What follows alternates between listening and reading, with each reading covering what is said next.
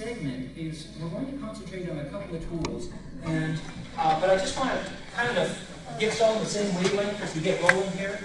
The uh, U.S. Department of Labor back in 2004 identified three hot fields for the 21st century.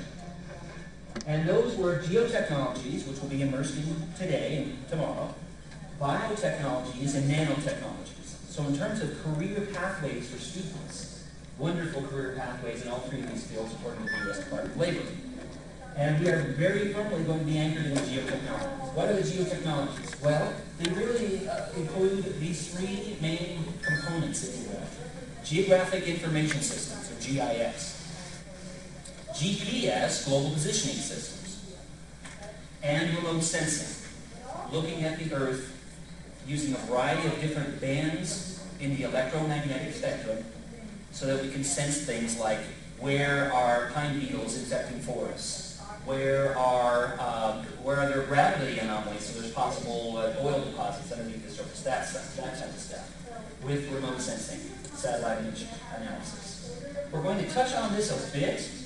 We're going to do some GPS when you uh, go out with the Palmers tomorrow outside and collect some data and bring it into your GIS. But all three of these are spatial technologies or geospatial technologies because they're all firmly anchored in where, right? They all have a spatial location.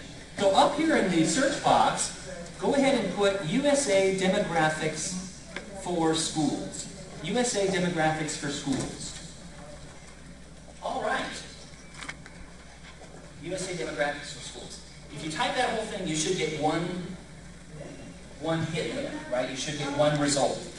And underneath that thumbnail, there are some choices there.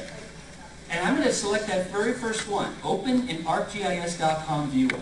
What is Open in ArcGIS.com Viewer? As you're getting into that, this is a good indication of a progression of more and more powerful tools that we'll talk about later on.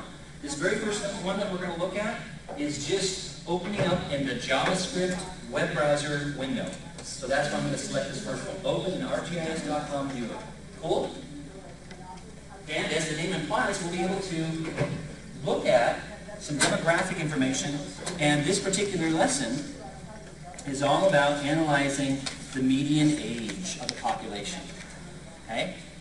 So, I see this map. First of all, Arizona uh, is not due north of uh, Hawaii and Alaska, as is commonly believed by some students, because right because they're you know the paper maps have to squeeze it in, uh, the, the, like in Sonora. Um, but uh, okay, well you know it'd be really nice to have a map legend, wouldn't it? So if you pan the mouse over some of those tools on the left, you'll find that one that looks like a, a you know, a bunch of bullet points, and that is the third one from the left, and it's the map legend. Okay, so I, I can see right now I'm looking at population bits.